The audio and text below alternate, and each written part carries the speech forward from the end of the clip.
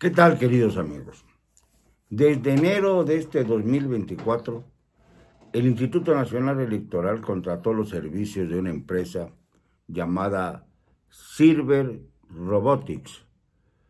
Esta empresa, pues más bien se caracterizaba por vender equipos eh, sanitarios, equipos de salud, y fue suspendida en 2020 precisamente por su característica de agiotista, de especuladora, cuando comenzaba la pandemia.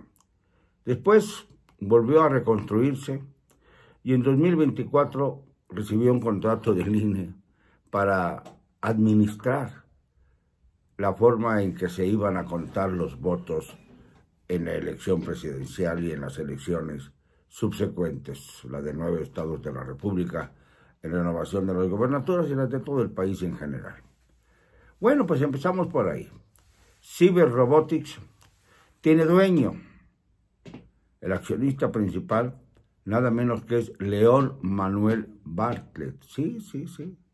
El hijo de aquel Manuel Bartlett que en 1988 habló de la caída del sistema cuando el sistema de cómputo, que entonces estaba bajo la supervisión del secretario de Gobernación, que era el que presidía el Consejo Electoral, se le cayó.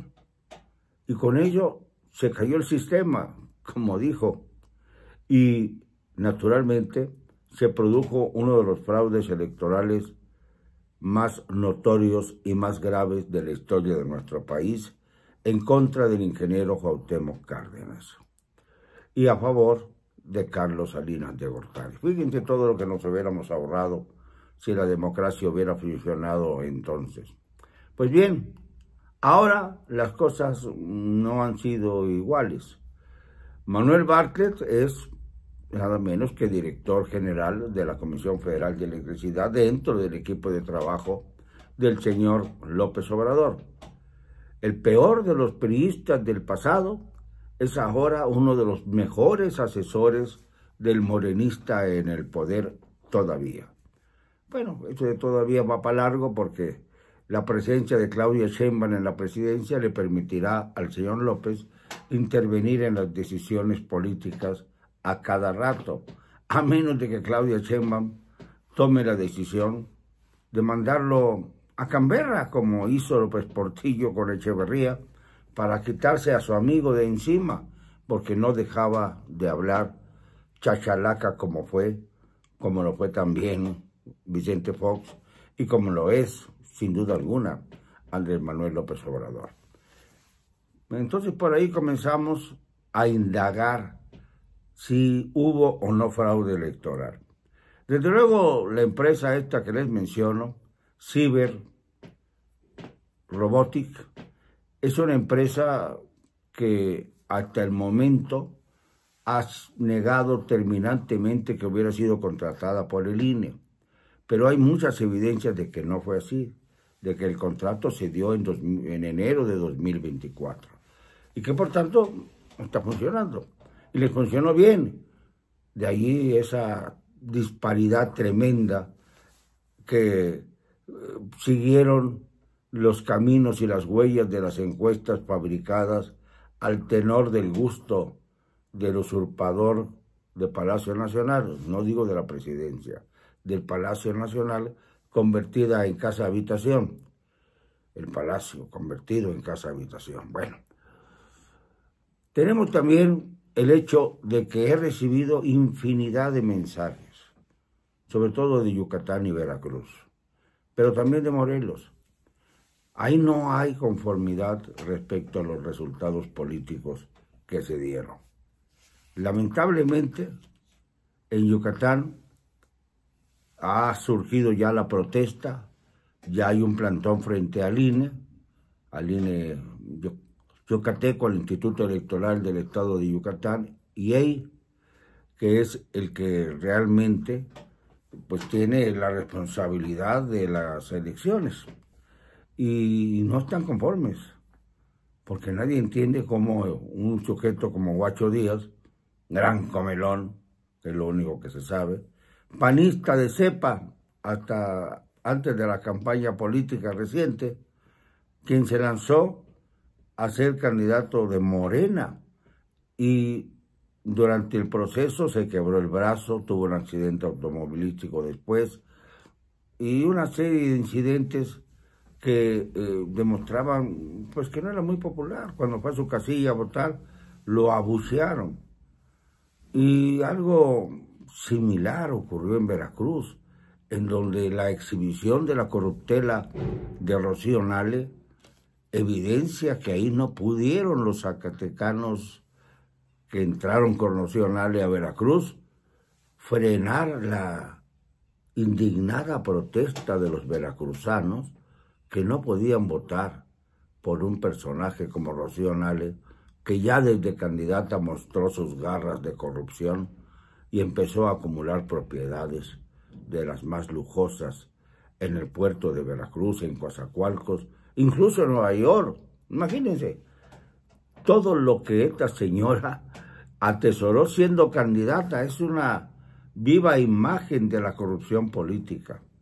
Y en el caso de Morelos, la señora Margarita González se erige en triunfadora cuando hay mucho rezago de corrupción en su estado y desde luego la señora Lucía Mesa Guzmán, que es la candidata del Frente Amplio Opositor, del Frente Fuerza y Corazón por México, en este caso por Morelos, no está muy conforme con los resultados. Y no está muy conforme porque dice no puede ser que ni siquiera haya votos de castigo para una administración felona como fuera del señor este futbolista de, la América, para aquellos que les gusta mucho el fútbol, Cuauhtémoc Blanco, que pudo haber sido un buen futbolista, pero todo lo bueno que tuvo como futbolista se trasladó a lo peor que puede haber en un político.